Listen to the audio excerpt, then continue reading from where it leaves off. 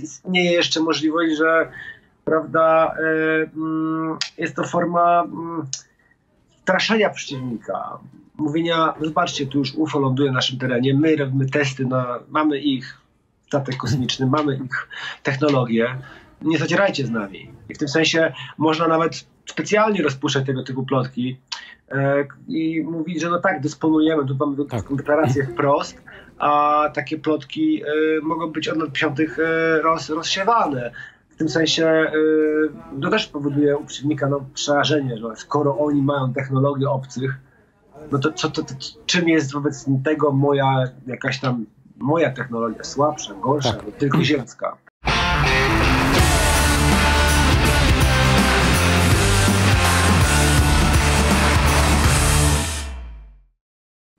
Dzień dobry, witam Państwa wtorek, jak zawsze z serca redakcji Super Expressu. Ja się nazywam Jan Złotorowicz i to jest mój raport o innej niż zazwyczaj porze, ale też temat zupełnie inny niż zazwyczaj.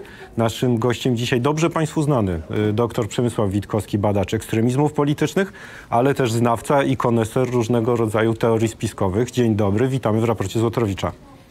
Kłaniam się, dzień dobry. Ja jestem wielkim fanem teorii spiskowych. Nie od, od dawna moją ulubioną książką jest Wahadło Foucault Umberto Eco, która jest całe poświęcone tym e, teoriom spiskowym. No a ale z kosmitami to jeszcze wiążą się z tym elementem, który mnie interesował w serialach i moim nowym serialu, który chyba już widać jaki jest. Zresztą widać doskonale, zazdroszczę tego plakatu z Archiwum X, a temat, no, no plakat zakładam, że wisi tam od dawna, ale pasuje doskonale do tematu naszej rozmowy. Jak Państwo sami widzicie, pochylimy się dzisiaj nad no, nową sensacją. Trochę ciężko mówić o tym w 100% poważnie, ale trochę musimy zacząć od poważnych faktów. Bo poważne fakty są takie, wiadomo, Amerykanie od dawna badają coś, co fachowo e, i eufemistycznie nazywają niezidentyfikowanymi zjawiskami lotniczymi.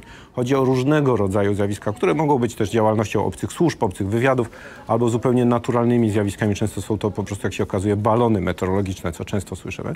Natomiast ostatnio trzech byłych wojskowych zeznawało przed Izbą Reprezentantów amerykańskiego kongresu. Dwóch z nich opowiadało bardzo szczegółowo o swoich kontaktach z niezidentyfikowanymi zjawiskami lotniczymi, które, mówię, można interpretować na wiele różnych sposobów.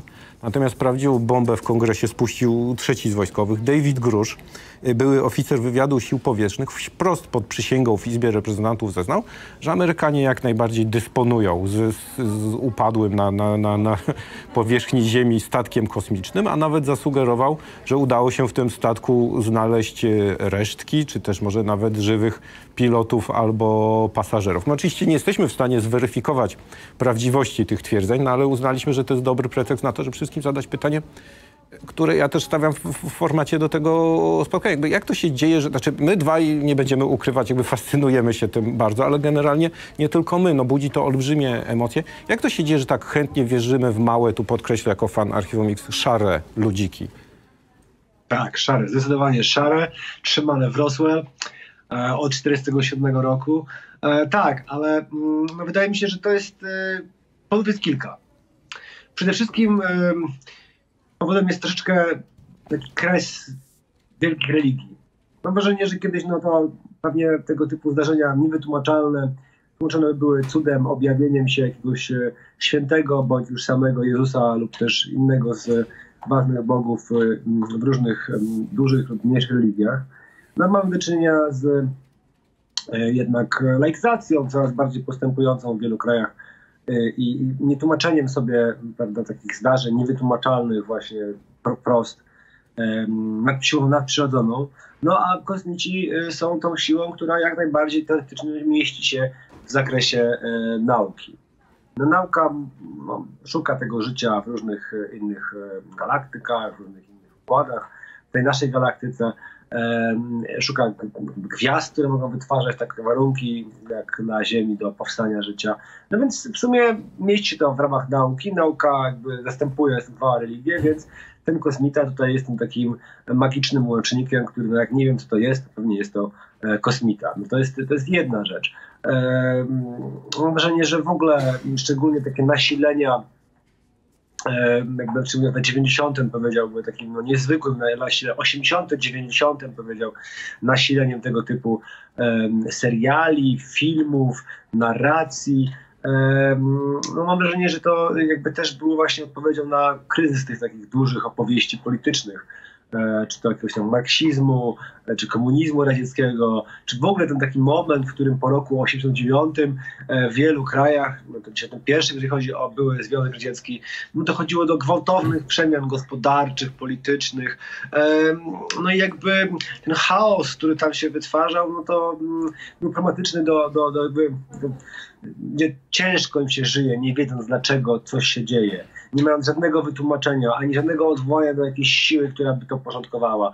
Kosmici są jakimś wyjściem, można powiedzieć, że ten spisek, który pojawia się w archiwum Mix e, jako główna oś narracyjna, no, jest taką trochę opowieścią zastępczą e, w czasach, w których jest powiedzmy chaos. Mhm.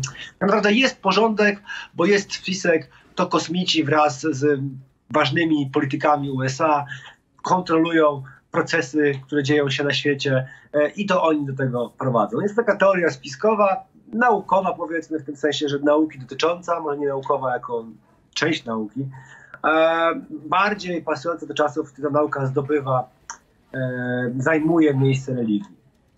No tak, natomiast jeżeli jesteśmy przy naukowych uzasadnieniach, to tutaj, żebyśmy też byli y, dla porządku. To, od czego się odbijamy, te, te, te rewelacje, które David, David Grusz prze, przedstawił, y, poważni ludzie, by się do nich na poważnie odnieść. Znaczy, Amerykanie nigdy nie ukrywają, że różne ich służby prowadzą chociażby poszukiwania dowodów na istnienie w ogóle jakiegokolwiek życia pozaziemskiego. Jest program SETI, y, wysyła się sondy w kosmos. Wysłaliśmy przecież pozdrowienia do ewentualnych mieszkańców y, innych planet. Już y, dawno temu szybują one przez przestrzeń kosmiczną, natomiast nikt oficjalnie nie potwierdzi. O mm, tym, że istnieje jeszcze możliwość, że prawda, e, mm, jest to forma mm, straszenia przeciwnika. Mówienia, zobaczcie, tu już UFO ląduje na naszym terenie, my robimy testy, na, mamy ich statek kosmiczny, mamy ich technologię, nie zacierajcie z nami. I w tym sensie można nawet specjalnie rozpuszczać tego typu plotki, E, i mówić, że no tak, dysponujemy, tu mamy tak. deklarację wprost, a takie plotki e, mogą być od lat 50. E, roz, rozsiewane. W tym sensie to też powoduje u przeciwnika no, przerażenie, że skoro oni mają technologię obcych, no to, co, to, to, czym jest wobec tego moja jakaś tam moja technologia słabsza, gorsza, tak. tylko ziemska.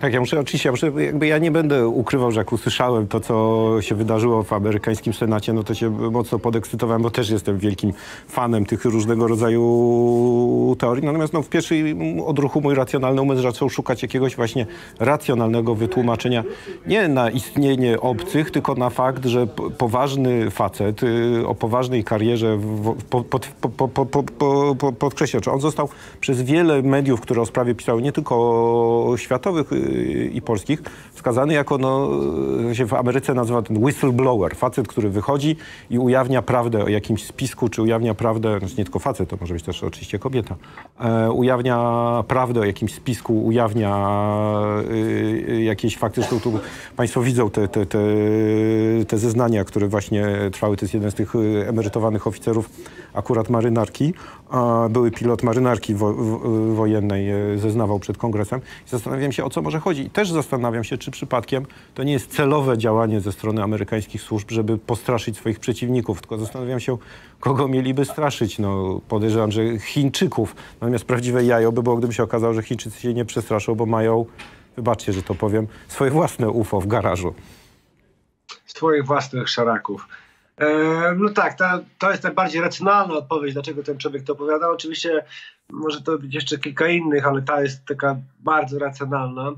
E, ale te opowieści o UFO e, w kulturze zachodu też grały czasami inną rolę. To nie zawsze było coś takiego doraźnie używanego, bo weźmy na przykład całą tą opowieść o zbudowaniu wszystkich niezwykłych miejsc na Ziemi przez UFO którą rozsiewał e, były szwajcarski hotelarz Erich von Deniken, niezwykle popularny w latach 90. ja tak. ubolewałem, ja ubolewałem, moja koleżanka była jakiś tam jakiś zjazd ufologiczny w Wrocławiu, w hali stulecia. Ja pochodzę z Wrocławia, moja koleżanka zamieściła kiedyś zdjęcie z Erichem von Denikenem, to ja myślałem, je, ja nie wiedziałem, że, że jest tym, na tym ufologicznym zjeździe, poszedł, bo to była, jeżeli ja kiedykolwiek wykazywałem jakieś takie inklinacje religijne, których w życiu nie wykazuję, to mając lat 11 i wierząc święcie, że to kosmici założyli na Ziemi wszelką cywilizację. No ale ja analizowałem to później, no to ma to taki element, powiedziałbym, lekko rasistowski w sobie, albo rasistowski w ogóle. Bo jak patrzmy sobie tak, skoro Denikena w opowieściach, właściwie wszystkie ważne budynki na świecie z historii cywilizacji, czy to są e, zikkuraty e, w, prawda, w Sumerze, czy piramidy w Egipcie, czy piramidy Majów, albo e, jakieś wielkie budowle Inków, czy ten ryty naskalne w Nazca, no, bardzo wiele miejsc poza Europą, a w również, ale poza Europą budowali e, kosmici w jego mniemaniu, lub też wpływali na budowę kosmici. No to trochę taka opowieść, której no, ten taki e, ciemnoskóry, prawda, smagły, tubylec nie jest w stanie zbudować tego typu budynku. Musi być jakiś kosmita, ten kosmita przylatuje, opiekuje się nim, podaje mu te wszystkie tajemnice, on posłusznie wykonuje jego rozkazy i tylko wtedy jest w stanie e, wykonać e, prawda, e, swoje budowle majestatyczne, mające ogromną znajomość techniki, matematyki. E, to też nie jest takie bardzo dziwne, E, w kontekście tego, że przednikiem Ericha von Denikena jest e, Robert Charot, taki francuski autor, pseudonim, prawdziwe nazwisko nie pamiętam, ale to był oficer Waffen SS tego francuskiego chyba Charlemagne, nie pamiętam tego, tej dywizji. No i on te swoje opowieści również w podobny sposób tworzył. I w zasadzie ta cała struktura została troszkę przeniesiona z fantazji również nazistowskich, w której w nazistowskich fantazjach to nie byli kosmici najczęściej, tylko właśnie ci biali Aryjczycy, którzy gdzieś tam po całym świecie budowali te swoje magiczne miejsca, bo miejscowi w domyśle nie byli w stanie intelektualnie temu podołać. To nie są tylko takie tam powieści, mhm. ponieważ w SS, czyli w tym takiej elitarnym zakonie NSDAP, e, był Wydział Dziedzictwa Przodków, e, który specjalnie powołał Reichsführer SS Heinrich Himmler do badania tych takich powiedzmy wpływów Germanów w różnych częściach świata. No i wysyłał on e, ekspedycje do Tybetu, do Ameryki Południowej, do Tijuanaco i te wszystkie opowieści, które widzimy w Indiana Jonesie regularnie, jak on dzieckiem oglądałem, myślałem, to jest bajka, ale okazuje się, że całkiem sporo tych nazistów było wysyłanych do różnych miejsc świata, żeby udowodnić, że te wszystkie wspaniałe miejsca zostały zbudowane przez właśnie jakichś Aryjczyków, Germanów, E, a nie jakichś tam ciemnych karnacji niewłaściwego pochodzenia, ich zdaniem, e, tubylców. No i w sumie, patrząc na tę taką opowieść strukturalnie von Denikena o świecie, no to też jest taka trochę opowieść, której właśnie lokal, lokal nie jest zdolny do zbudowania, że musiał przyjść kosmita i mu to e, powiedzieć. Było też połączenie takiego e, myślenia w, w jedno, to znaczy połączenie o, o Aryjczykach nazizmu z kosmitami. Był taki mm, chilijski dyplomata, nazista, zdeklarowany Miguel Serrano, który uważał, że no, szukał tego mitycznej jakby miejsca pochodzenia Aryjczyków, no i myślał, że to mityczny kontynent Hyperborea, e, położony na północnym biegunie, no ale pojawiło się pytanie w tym momencie, a skąd się wzięli ci Aryjczycy na tym e, kontynencie Hyperborei? No oczywiście doszedł e, Serrano do tego wniosku, książkę napisał, że z kosmosu. Więc można też dokonać takiej syntezy tych wszystkich e, teorii kosmicznych. Więc uważam, że one, one są starsze niż lata 50., powiedziałbym, a i pełniły najróżniejsze funkcje w mhm. naszej kulturze. No, gdyby się okazało rzeczywiście, że kosmici istnieją i przepłyną na Ziemię, to przecież to byłoby absolutny cios we wszystkie religie. Która religia, to jest taka mniej więcej cios, jak e, zadały chrześcijaństwu odkrycie Ameryki. Wywołało to ogromny kryzys, też między innymi protestantyzm powstał jako jeden z takich elementów tego, że no, katolicyzm czy tam papież nie był w stanie przewidzieć, że jest jeszcze ten kontynent, albo dwa nawet, albo i trzy. Więc okazało się, że nie jest taki nieomylny. No i jak tu się mieszczą ci wszyscy miejscowi w tym planie zbawienia? No ale teraz pytanie powstanie, jak kosmici się mieszczą w planie zbawienia? Czy Jezus, albo Mahomet, albo którykolwiek z wielkich twórców religii mówili cokolwiek o życiu pozaziemskim? Mówili, czy dla nich istnieje niebo, piekło, jak oni to robią, czy oni też tam trafiają, czy spotykają się wszyscy razem, to gdyby taka informacja rzeczywiście padła, to gdyby ona była prawdziwa, to ona by absolutnie zniszczyła wszelkie, moim zdaniem, e, zorganizowane religie. To byłby taki cios, którym się nie da się podnieść. To bo jak powiedzieć, czy Jezus umarł za szaraków, w sensie tych... E, Małych szarych ludzików, z, tak. Z archiwum Mix. No podejrzewam, że pewnie tak, tylko no, gdzie to jest w Biblii nie ma, nie ma. Nawet nie, dopóki by coś nakazało, to byłby niezwykły, niezwykły kryzys społeczno ja, ja, też uwielbiam w tym programie oddawać się różnego rodzaju gdybaniom i wyobrażeniom sobie, co by było gdyby, aczkolwiek tutaj się, no, no, no wolałbym nie wchodzić aż na tak e, daleko idące. Oczywiście jest to fascynujące sobie wyobrazić, natomiast umówmy się, no my, żeby była jasność, no my nie chcemy tu robić programu o tym, kosmici istnieją, są na Ziemi przetrzymywani w hangarze. Jakby w obu nas, y, czego nie jesteśmy w stanie ukryć, fascynują i, i poruszają te, te teorie, nie tylko za sprawą Denikena czy, czy, czy z archiwum Mix. Zastanawia mnie zawsze, jak rozmawiamy o teoriach spiskowych, pewien element. I on się znowu, ja będę cały czas wracał, żeby też Państwu przypomnieć, że naprawdę nie rozmawiamy od czapy, tylko mamy bardzo konkretny powód do, do, do rozmów o tych fascynujących zjawiskach. Te przesłuchania... Myślę, dlatego, że ludzie w nie wierzą. Tak, że, że ludzie w nie wierzą, ale jeszcze jedno mnie zastanawia, bo, bo, bo teraz y, rozmawialiśmy trochę o tych właśnie tych historycznych sprawach, o Denikenie, o tym, jak to kosmici pomagali budować y, cywilizację. Y, pan zwraca uwagę na taki rasistowski tego y, podtekst. Okej, okay, to jest jedna rzecz. Dzisiaj też bardzo popularnym elementem teorii spiskowych, znowu on się też przewija nawet w wypowiedziach kongresmenów, którzy przesłuchiwali tych wojskowych, jest y, wiara w niesamowitą sprawczość rządów. Ona, powiem szczerze, jest dla mnie dużo bardziej fascynująca niż w ogóle wiara w kosmitów, bo żeby rzeczywiście był spisek, żeby rzeczywiście kosmici byli gdzieś przetrzymywani w jakiejś y, strefie y, w Roswell, strefa 51, przecież tak to się nazywa, e, no to to by oznaczało, że rząd, kolejne, kolejne rządy e, amerykańskie, kolejne, kolejne e, amerykańscy prezydenci musieliby być hiperskuteczni w ukrywaniu tego przed nami. Jeżeli cokolwiek wiemy o rządach, to to, że one nie są hiperskuteczne. I, tak. Znaczy pytanie, które w tym tkwi, jakby... Bo, bo, jakby... Mógł się odnieść tego, bo, bo, bo, popatrz na strukturę amerykańskich seriali E, Amerykanie kochają seriale medyczne. Dlaczego? Bo medycyna, usługi medyczne są niezwykle drogie i wielu osobom niedostępne. Amerykanie kochają seriale kryminalne. Tam jest policjant, który jest dzielny, oddany swojej pracy i na końcu poświęca całe swoje życie prywatne, byleby tylko e, sprawy rozwikłać i przywrócić porządek. Bo przestępczość jest wysoka, i w niektórych miejscach w Stanach jest to no, poważny, bardzo poważny problem. Miło się słucha opowieści, w której, prawda, policja czy lekarz jest tak sprawny, że to sprawę rozwiąże. E, więc jeżeli chodzi o kosmitów, ten sprawny rząd, który mówi, to rzeczywiście to jest taka sytuacja, mamy e, poczucie, że nasz kraj się trochę sypie, w sensie, no oni mają, bo w porównaniu do tego, co było wcześniej, Ameryka jest słabsza. E, jednocześnie jest wiele procesów, których oni uważają, że e, mm, wpływają na Stany. No, bo mamy, no, ale nie tylko na Stany, w ogóle na, na świat. E, finansiści, korporacje, choroby, pandemia, no wszystko to są takie czynniki, powiedziałbym, no nieskoordynowane i działające chaotycznie, ale w sposób taki no, zmieniający kompletnie nasze, ich, nasze życia. Mhm.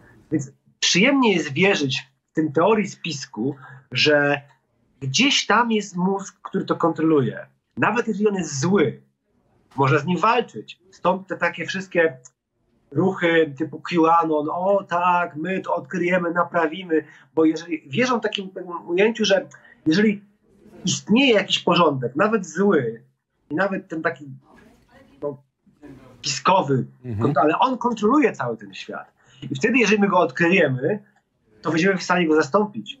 Ta kontrola zostanie utrzymana, tylko dobrzy wezmą to w swoje ręce. No i ludzie często ludzie wierzący w teorie spiskowe to są naprawdę na początku dobrzy ludzie, którzy po prostu pragną, żeby świat był lepszy, że naprawić go jakoś. Kupują prostą odpowiedź i potem ją tak jakby jadą, nie? Więc w tym sensie um, to jest fantazja, spiski o tym, że świat ma jakiś sens, porządek, jest poukładany.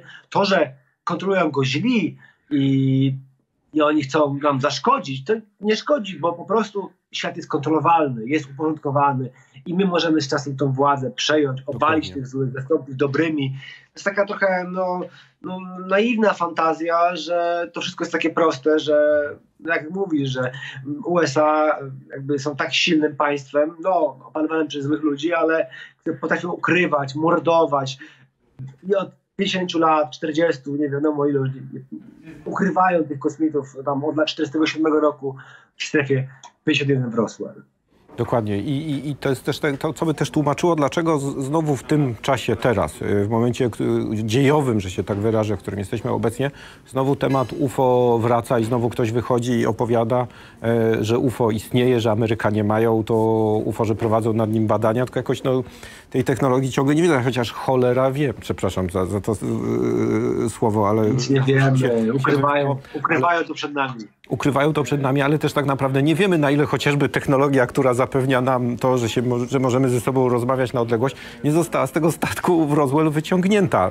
Yy, czy wszystko można pod to pociągnąć? Natomiast rzeczywiście jest taka potrzeba uporządkowania. Tu padło hasło, od którego nie jesteśmy w stanie uciec, skoro rozmawiamy o współczesnych teoriach spiskowych, czyli QAnon. Jeśli Państwo nie wiedzą, to najnowsza wersja QAnonu jest taka, że w ogóle Donald Trump nigdy tych wyborów nie przegrał, tylko cały czas jest tak naprawdę prezydentem Stanów Zjednoczonych, cały czas Stanami Zjednoczonymi rządzi, a ten cały Biden i to wszystko to jest tylko fasada elit, którymi oni ukrywają prawdę. I że dlatego chociażby wojna na Ukrainie tak świetnie idzie, bo Trump cały czas rządzi amerykańską armią.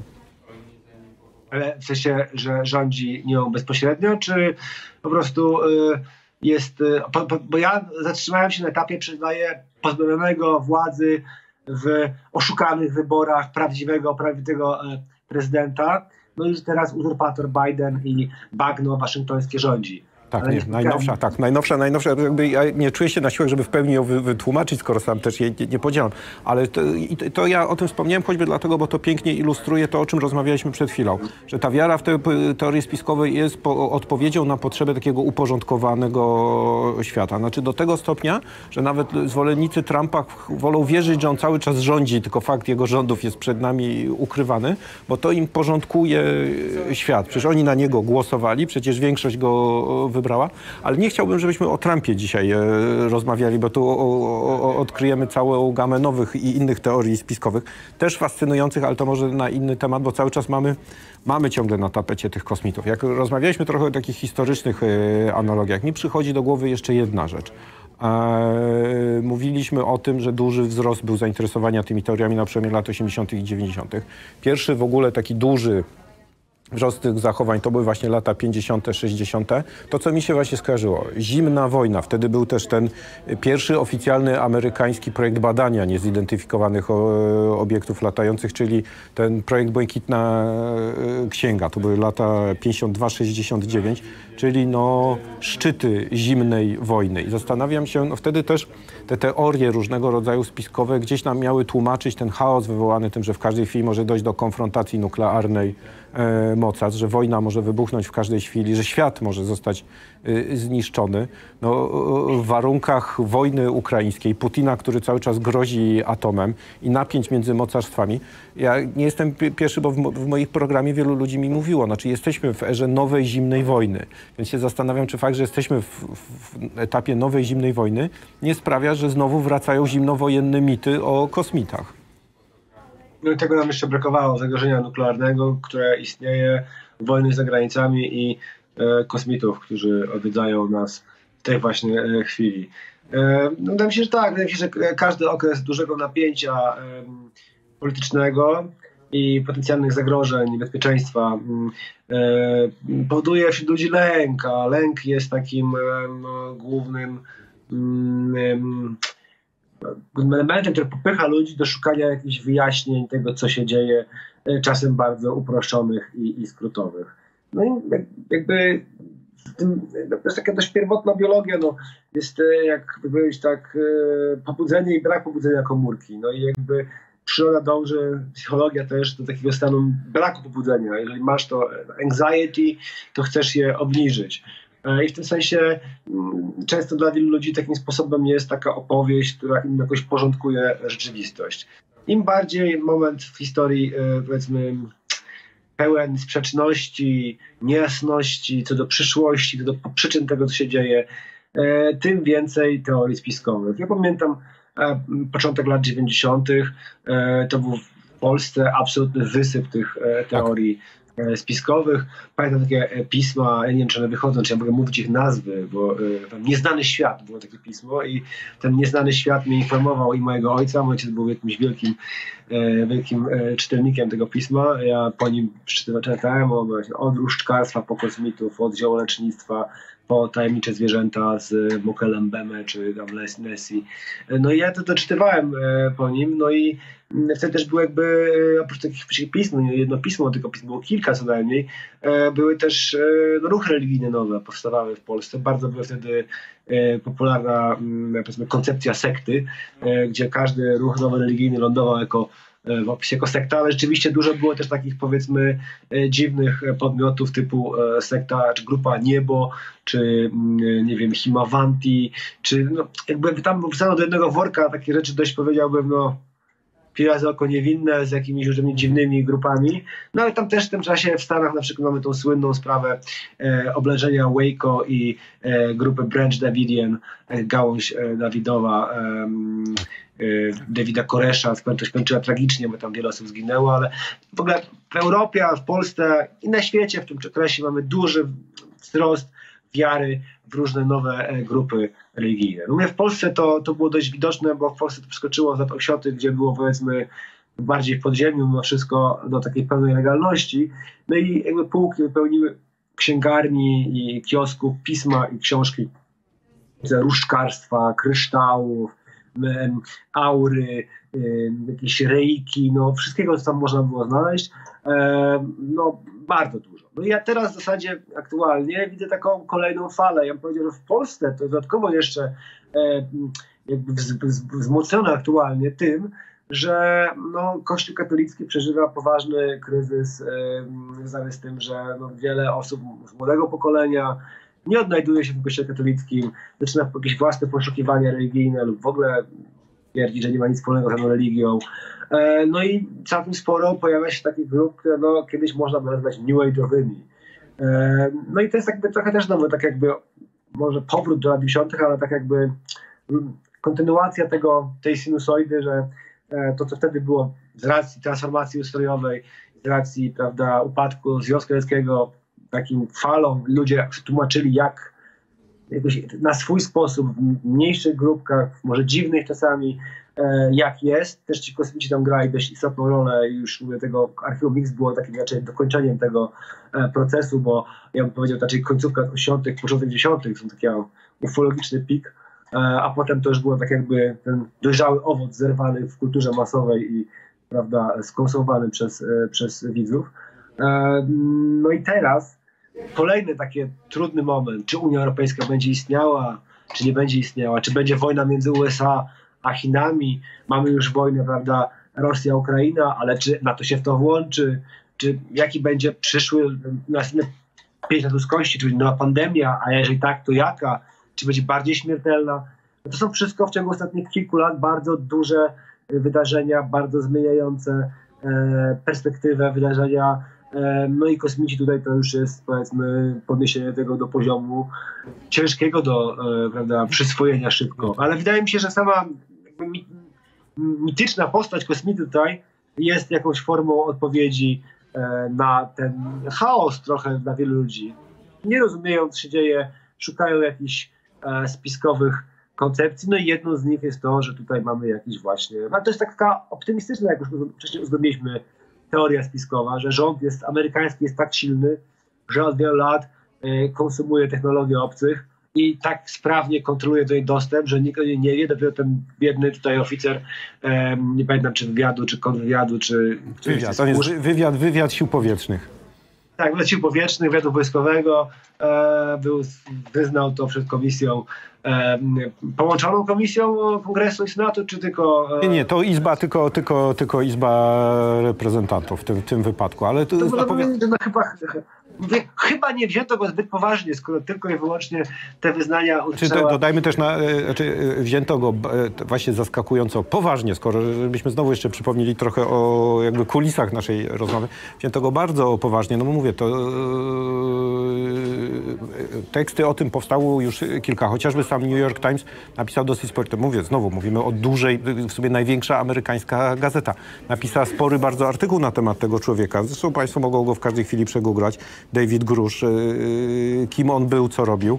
Jakby wiele rzeczy, jakby to, co jest nowością w jego narracji, bo to, że się pojawia facet e, albo kobieta, że, że pojawia się ktoś, kto twierdzi, że w Roswell rozbił się statek kosmiczny, że udało się odratować te szczątki, że udało się wyciągnąć z niego e, szczątki pilota, że prowadzi się na tym badania, te słynne fejkowe e, ujęcia tej e, sekcji zwłok i tak dalej. To wszystko już krąży od dawna, to nie jest żadna nowa nowość. Prawdziwą nowością w tej sytuacji jest to, że nigdy nie opowiadał tego typu rzeczy człowiek o tak dużym poziomie wiarygodności. Wiele rzeczy, które on opowiedział na swój temat, które zeznał na swój temat, udało się dziennikarzom i to poważnym dziennikarzom New York Timesa potwierdzić i to, że jest, istnieją nawet ślady papierowe potwierdzające nie to, co on opowiedział o kosmitach, ale to, co opowiedział na swój temat. Tylko znowu, no to może brudzić skoro jesteśmy przy teoriach spiskowych, ja jednak zostanę przy swojej najbardziej racjonalnej, co może budzić podejrzenie, że on celowo realizuje zadania wyznaczone mu przez wywiad amerykański i celowo wprowadza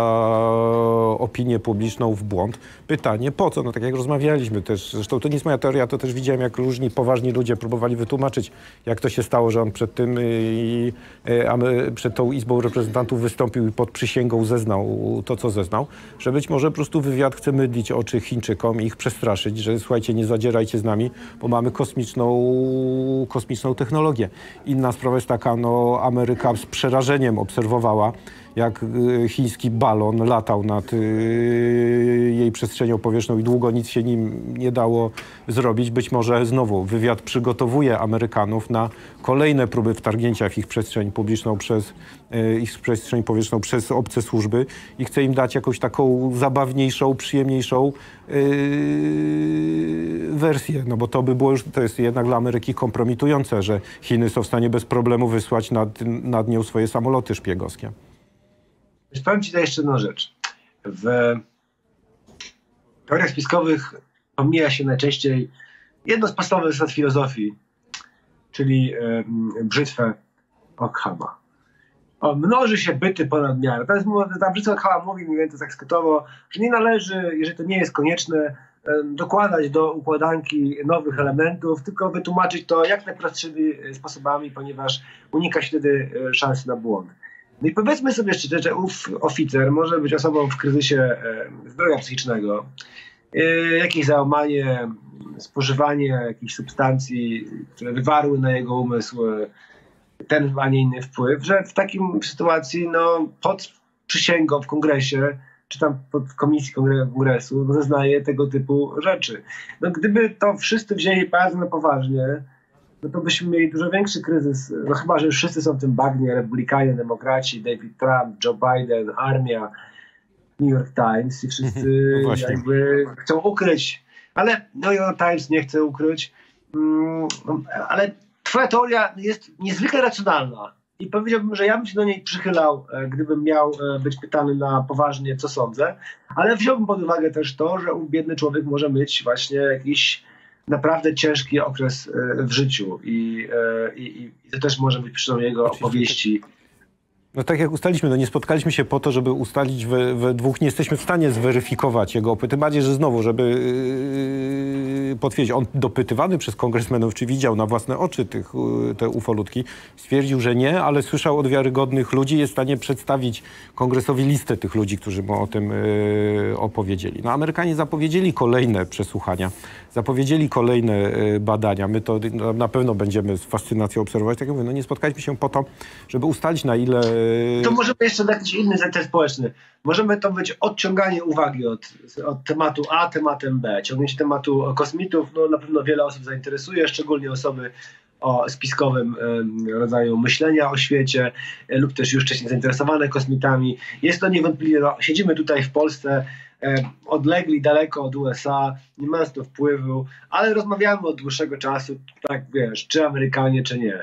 Mają tych kosmitów, czy ich nie mają. E, więc w tym sensie mm, zajęło to naszą uwagę. E, sprawiło, że jesteśmy e, zaangażowani.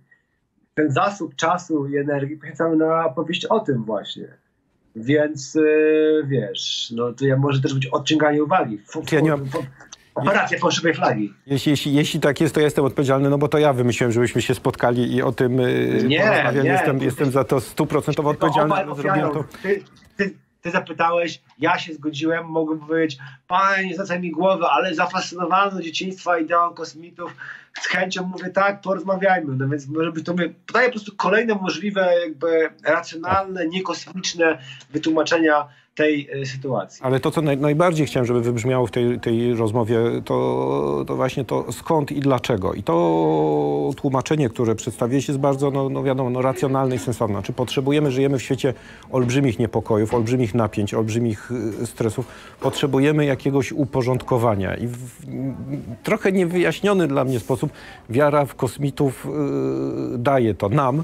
Mówię nam, bo ja nie będę ukrywał, że nie jestem w tej sprawie głębokim sceptykiem, chociaż staram się być, staram się być y, racjonalny, ale zawsze też fascynowanie ta wizja rządu, który tu położył łapy na, na, na kosmicznej technologii. Tylko teraz się dowiedziałem od ciebie, że, że fascynowało mnie to dlatego, że gdzieś w głębi serca po prostu chcę żyć w świecie uporządkowanym, w którym rząd jest zdolny do, zdolny do rzeczywiście przeprowadzenia takiej operacji.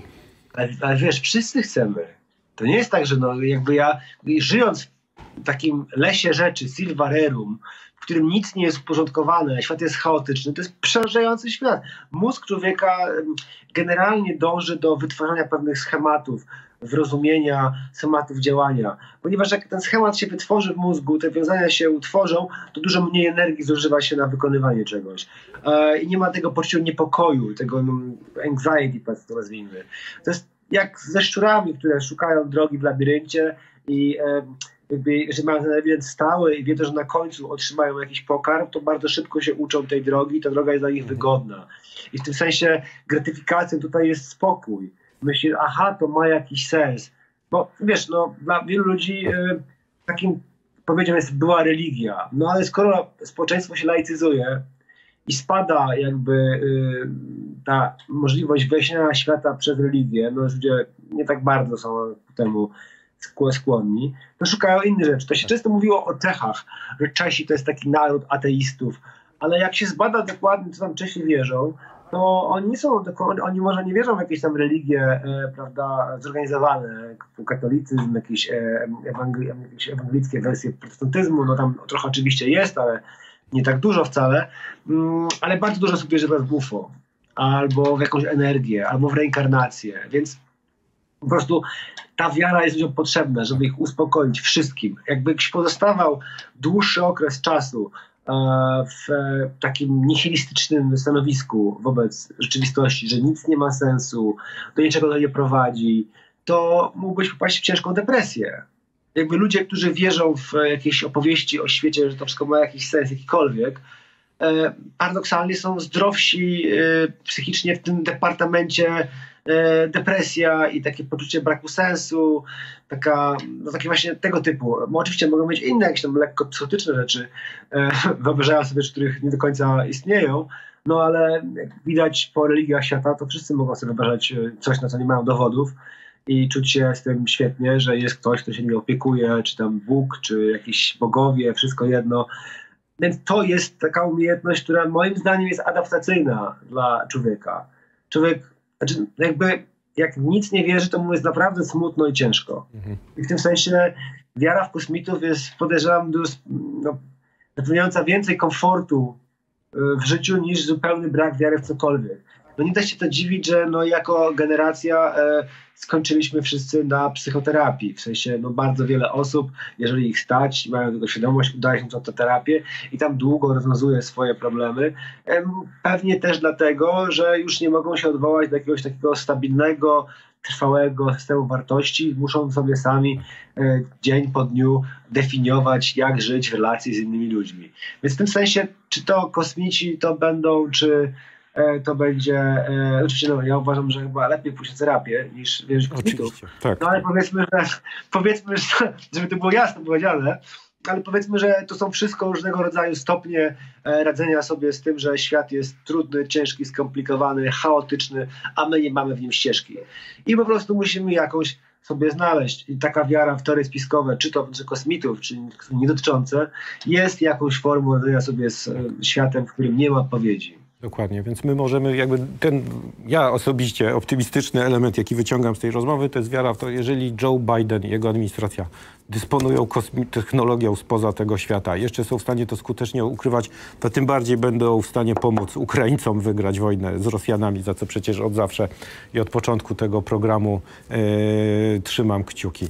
Doktor Przemysław Witkowski, badacz ekstremizmów politycznych, o czym było, badacz teorii spiskowych, o czym było, to zawsze przyjemność gościć Cię w programie. Dziękuję bardzo, że znalazłeś czas dla mnie i dla moich widzów.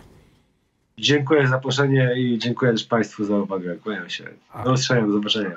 A Państwu dziękuję za to, że zdecydowaliście się oglądać tak nietypowy i dziwaczny y, program. Jutro wracamy już na nasze normalne tory, na front, na wojnę. Trochę będzie o służbach specjalnych. Jak dobrze pójdzie, będzie też o polityce, bo szykuję dla Państwa jutro dwie rozmowy. Mam nadzieję, że obie e, wypalą, więc bądźcie z nami. E, Śledźcie nasz kanał na YouTubie, subskrybujcie, żeby dostawać powiadomienia o naszych kolejnych filmach. No i do zobaczenia.